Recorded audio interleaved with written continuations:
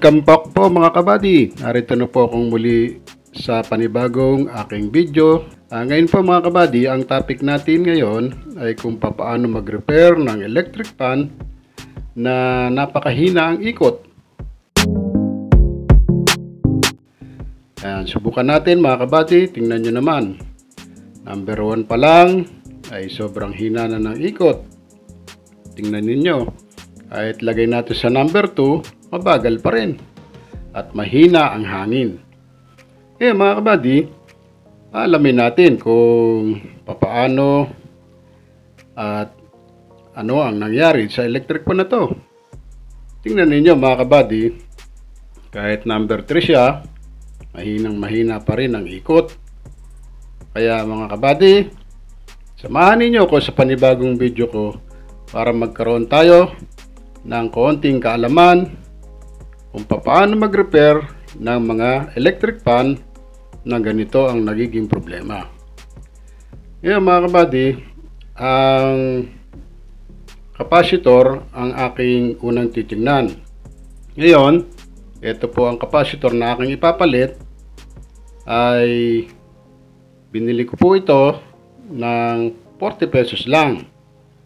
Ang size nito ay 1.5. Ngayon, ubra din naman ng 2.0. No. Kaya, samahan ninyo ako mga kabady kung paano magpalit ng capacitor sa mga ganitong sitwasyon ng electric fan. O, baklasin na natin. Tatanggalin natin ang takip. At itong kanyang LC ay tatanggalin na rin natin.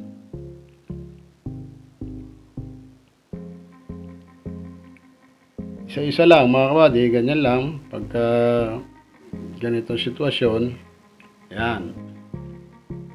Kailangan medyo maingat tayo kasi may mga pyesa rin to no, na kailangan natin ay matanggal. Yan, dito po sa likod, ay may tornilyo, may tornilyo yan. Medyo madumi kaya kailangan natin linisin na rin. No? Yan, may tornilyo yan sa likod. Tanggalin natin para matanggal yung takip. Yan, tanggalin natin. Medyo mahirap lang tanggalin to kaya konting tiyaga lang mga kabady. Ang pinakamaganda niyan, pagka ganito sitwasyon, luluwagan niyo yung butas, yun no? Para madaling tanggalin ang takip. Tapos, linis-linis lang yung konting likod. Kasi minsan, dyan, dyan din ang gagaling ang paghina ng hangin. No? Ito mga kabady, yung capacitor na ating papalitan. Ang size nito ay 1.5. No? Yan, ito na yung bago. 1.5 din to. Pero pwede rin natin maging 2.0. No? Yan, yan ang, yan ang papalitan natin. Eh, tuturo ko sa inyo mga kabady kung paano ang pagpalit niyan. Madali lang naman yan. yan no? Susundan nyo lang yung mga wire. Tanggalin natin yung kapasitor. May tornilyo yan. Yan.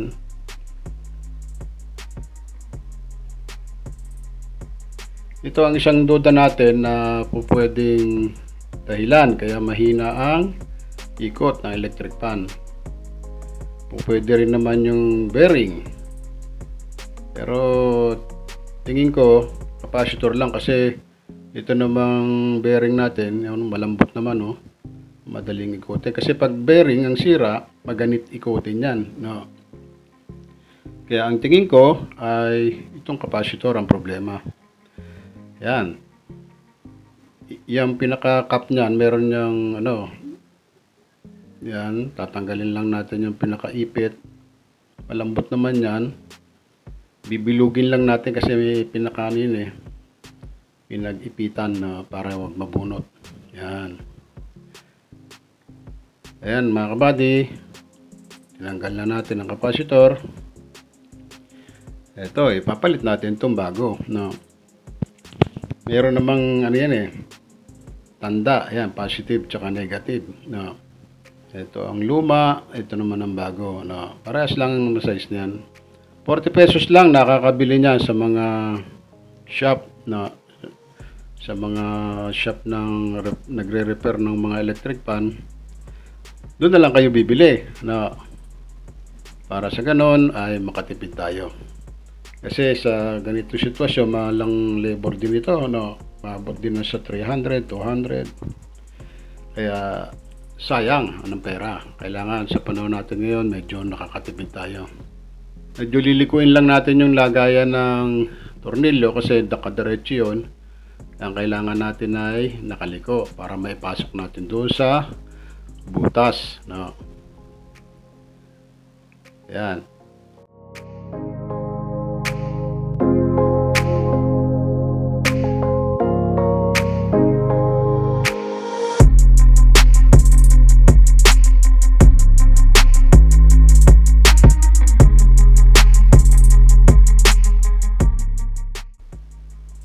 Positive, lagay natin doon sa pula. Ayan.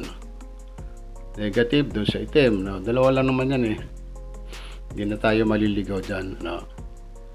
Ayan. Kabit na natin.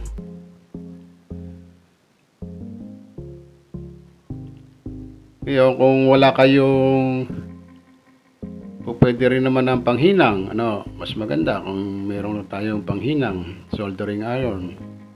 Kung wala naman, pwede na rin itong dati. Babalik na lang natin yung pinaka-cap niya. No?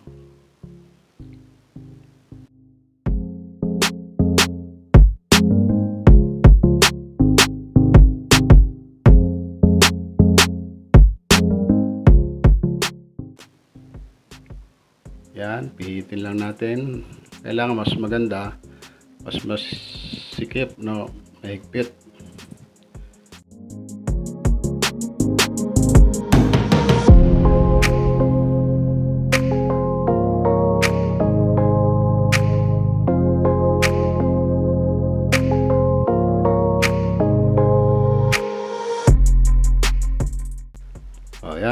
Tapos pasok ulit natin yon Tinanggal natin kanina, pinakatakip niya para hindi lumabas yung wire. No? Tapos ipitin ulit natin ang plies. Yan. Malambot naman yan eh. Aluminum lang yan. No? Tinesting natin kanina, pagka ganyan kasi, yung shafting niyan, pagka may problema ng bearing yan, masikip na yan mahirap ikutin. Ngayon, tanggalin natin tong pinaka-holder ng takip ng ano ng LC. Yan. Apat na tornilyo yan, mga kabady. Kaya natin tatanggalin to para mal- malagyan natin ng ano, langis na yung pinaka-shafting niya. Yan. Para mas magandang lagyan. Itong electric pa na to, medyo bago-bago pa to, hindi naman masyadong luma, kaya lang uh, nagkaganon. Humina na ang ikot, no. Bali, apat na tornilyo yan. Ah, linis-linisin lang natin. Tapos, huwag nyo kakalimutan lagyan ng langis. Yan. Pwede din yung langis ng yung pinag-change, yung mga langis sa motor, yan, pwede yan. O kaya WD-40. Unang ilalagay nyo, yan. Ikot-ikot lang para lumambot pa siya. Pero okay naman to, malambot pa naman. Oo.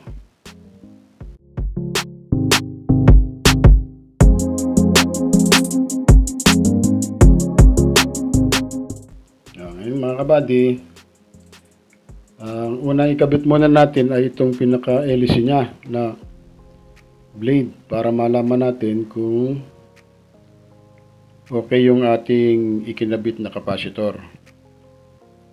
Yan, may pagkakabit ng hélice, mayroong pinaka-slot yan na itatama niya yun doon sa pinaka-pin niya na nakapasok sa shafting. Ah. Ang hélice niyan, ang pagkabit niyan pakaliwa, ang higpit na Yan. O, linis-linis lang para maganda yung buga ng hangin. Ano? Ah, ngayon mga kabady, tetestingin na natin kung okay yung ating ginawang electric fan.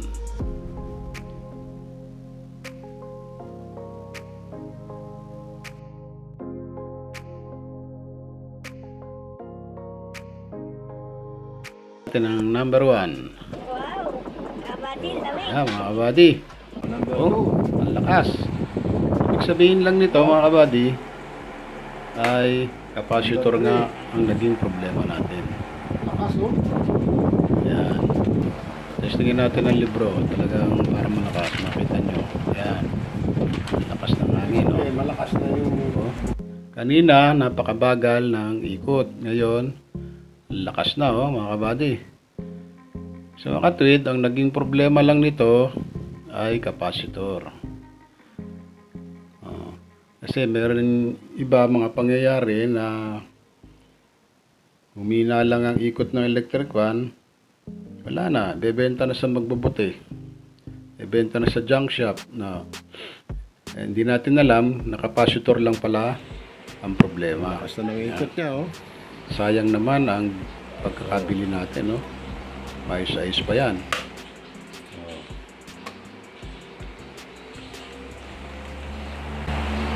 Number 2 pa lang yan. Lalo na ng number 3. Oh. Lakas.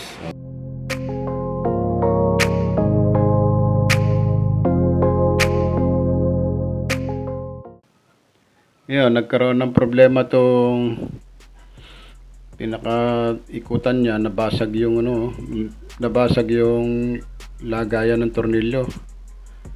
Kaya, ang ginawa ko mga kabady, kumuha ko ng mas malaking tornilyo, mas mahaba, para bumaon sa ilalim. No? Kasi ayaw niyang umikot yung pinaka ulo ng LC. Yan. Ayaw niya mag-swing. No? Yan. Kaya pagka ganyan mga basag, kasi plastic to eh. No? Walang, kung meron pang natitirang thread, kuha lang kayo ng mas mahabang tornilyo. May matitira pa namang thread dyan, tsaka butas. Yan. Para bumaon pa siya lalo. No? Yan, lagyan nyo lang ng pinaka-washer niya. Yan. Para hindi lumusot sa butas.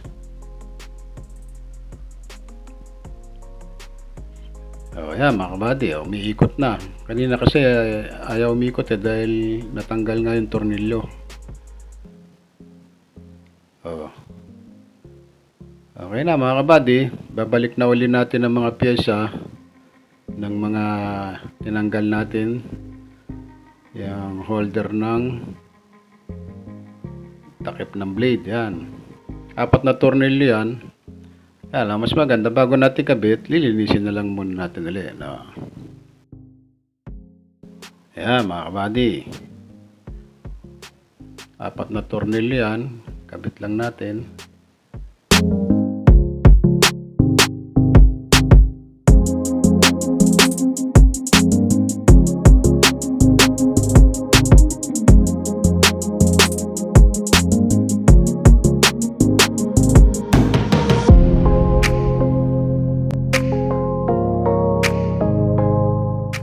Yung thread niya sa shafting, sprayan lang natin ng WD-40 tapos brusin natin para matanggal-tanggal yung kalawang. No. Yan, lilinisin na lang natin yung takip.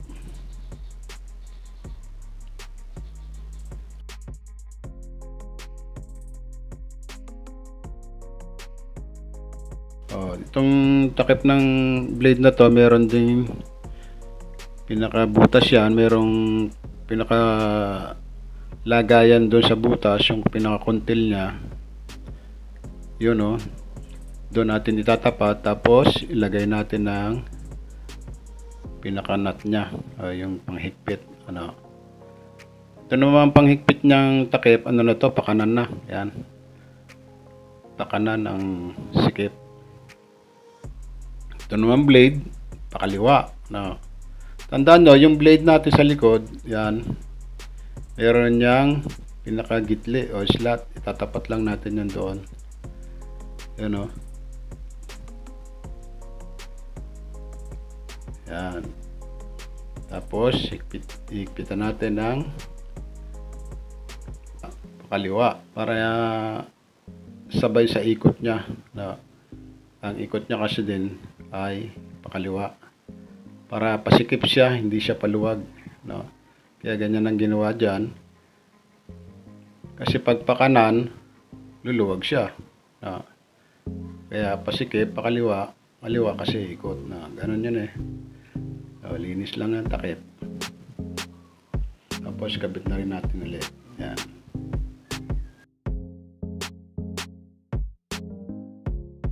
Yan. Pasok na ulit natin yung cover sa likod.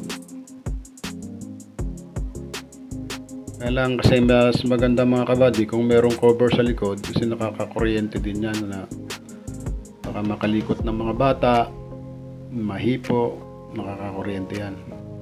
Kaya nilalagyan niya ng takip. No? So, mga kabady, testingin na lang natin uli. Ayan, no? Napakalakas na ng ikot, oh.